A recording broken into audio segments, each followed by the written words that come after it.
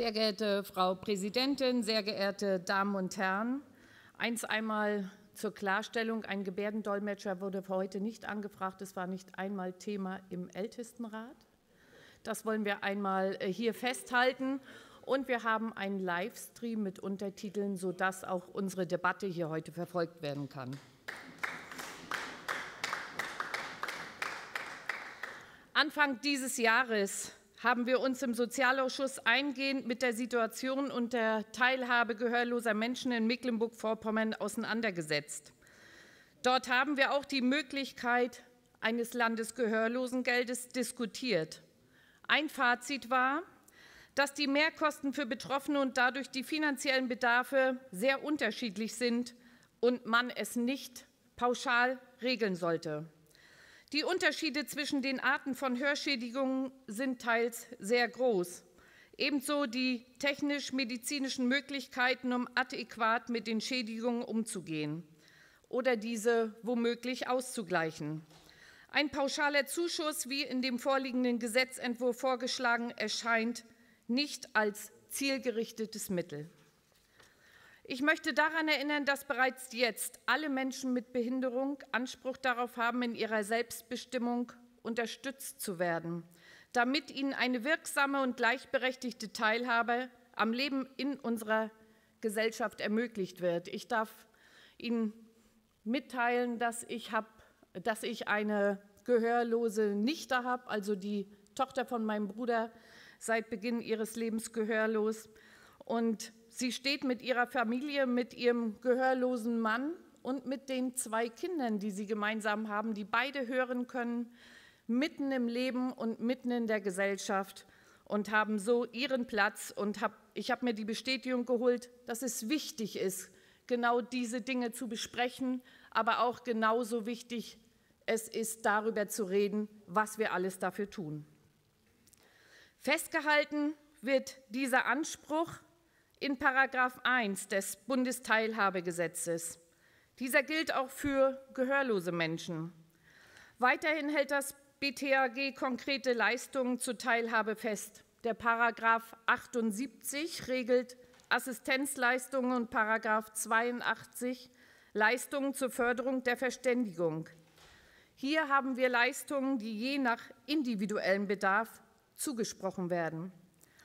Außerdem sei hinzugefügt, dass von Landesseite für Zuschüsse für Gebärdensprachdolmetscherleistungen im privaten Bereich über 100.000 Euro jährlich zur Verfügung gestellt werden.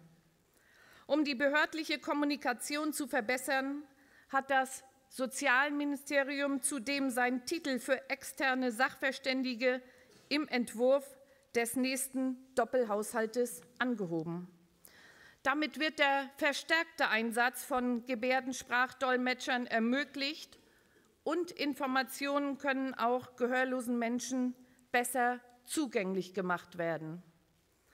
Um zu dem vorliegenden Gesetzentwurf zurückzukommen. Bereits im Januar 2020 hat der Landtag einen Antrag der AfD diskutiert, in dem die Schaffung eines Landesgehörlosengeldes vorgeschlagen wurde.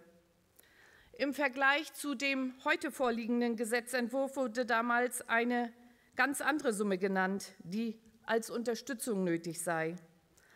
Weder in dieser zurückliegenden Initiative noch in dem aktuellen Gesetzentwurf wird die Höhe der vorgeschlagenen Unterstützung begründet.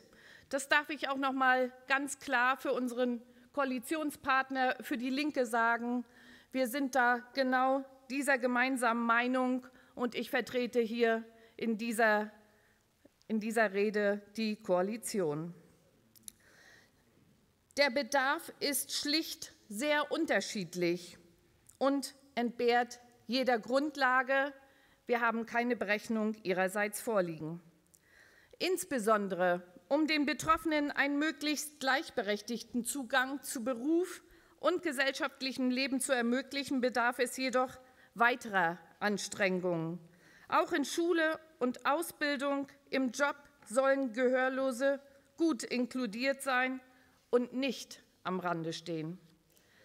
Die UN-Behindertenrechtskonvention hält ausdrücklich fest, dass blinden, Gehörlosen oder taubblinden Menschen, insbesondere Kindern, ein geeigneter Bildungszugang gegeben sein muss, damit die bestmögliche schulische und soziale Entwicklung ermöglicht wird.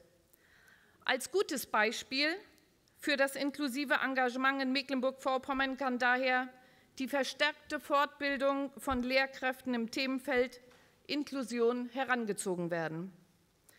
Auch wurde die Einführung der Schuleingangsphase in den Jahrgangsstufen 1 und 2 umgesetzt. Diese Phase kann von Kindern in einem Zeitraum von einem bis zu drei Schuljahren besucht werden. Damit erhalten die Kinder die Zeit, die sie individuell benötigen, um in der Schulumgebung Fuß zu fassen. Mit dem Maßnahmenplan der Landesregierung werden außerdem Maßnahmen ergriffen, die spezifisch blinden und sehbehinderten sowie gehörlosen Menschen zugutekommen. Dazu gehört zum Beispiel der Abbau von Kommunikationsbarrieren im Internet und bei der Mediennutzung. Im August dieses Jahres hat die Landesregierung ihren aktuellen Bericht über den Umsetzungsstand des Maßnahmeplans vorgelegt. In 13 verschiedenen Handlungsfeldern sind insgesamt 124 Maßnahmen aufgeführt, die angegangen werden oder bereits in der Umsetzung sind. Hier wird auf struktureller Ebene ein Wandel vollzogen, der Mecklenburg-Vorpommern schrittweise barrierefreier, inklusiver und fairer für alle Menschen macht.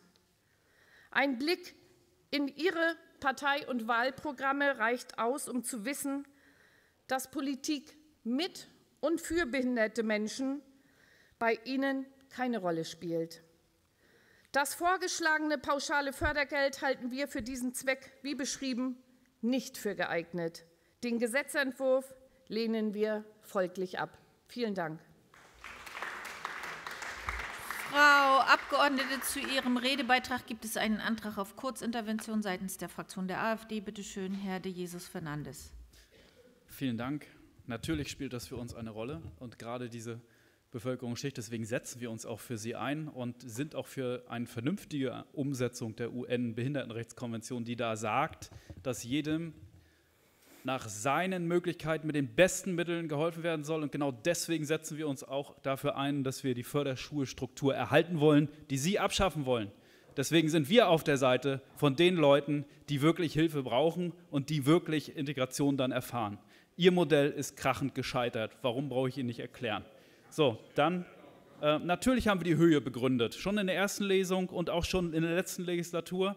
Das ist ein Vorschlag vom Landesgehörlosenverband. Der agiert ja nicht einfach im luftleeren Raum. Auch Sie haben Kontakte dahin, nehme ich stark an und Sie hätten kommunizieren können. Inflationsangepasst, das wissen Sie auch. Es steigt alles, wird alles teurer aufgrund auch Ihrer Politik. Selbstverständlich steht da dann auch eine andere Zahl drin, die wir begründet haben. Und ja, es ist pauschal, genauso pauschal wie das Landesblindengeld. Ich hoffe, Sie legen da nicht die Axt an, weil die Pauschale ihnen ja anscheinend irgendwie missfällt. Sie kommen hier mit Ausflüchten und Ausreden, dass hier andere Sachen bereits gemacht werden. Ja, aber das ist kein selbstbestimmtes Leben, weil es muss alles beantragt werden. Keine Spontanität im Alltag möglich. Wir möchten das dieser Bevölkerungsgruppe ermöglichen, dass sie eine selbstbestimmte Teilhabe haben am ganz normalen Leben. Und dazu ist dieses Landesgehörlosengeld absolut geeignet. Ihre Ausflüchte lasse ich so nicht gelten.